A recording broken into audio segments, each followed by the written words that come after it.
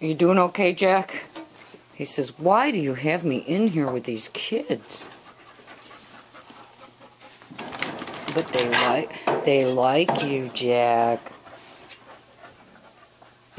They need a chance with some bigger dogs instead of just two little redheads.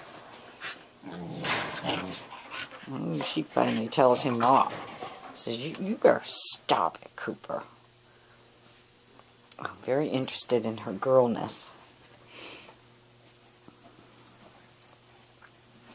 Cooper's like, I, I want to get back up here and lay down. If I lay down, they're all going to get on me.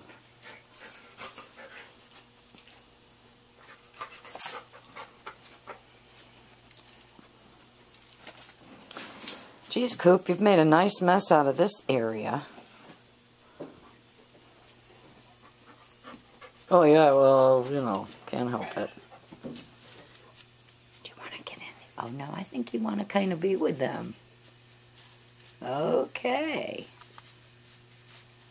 Where'd they go? Where'd they go? What, you want to be up here? Are you sure? Okay. Okay. Because the termite guy's coming anyway. Okay. What a good boy.